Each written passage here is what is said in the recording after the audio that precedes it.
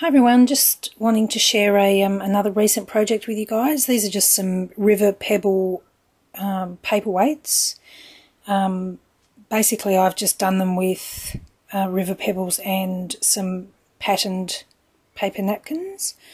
Um, very easy to do, happy to do, do, a tutorial if anybody would like to know exactly how I did it. Um, a few different designs here, this one's just got a butterfly.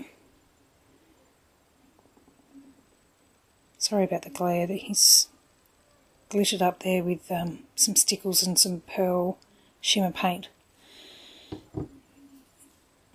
And this one here.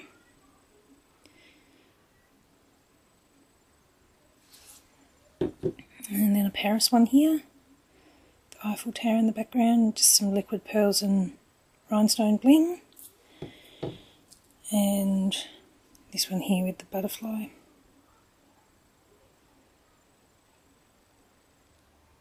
But really easy to do. So um, if anyone does want a tutorial, just leave a comment below and I'll happy to do that for you.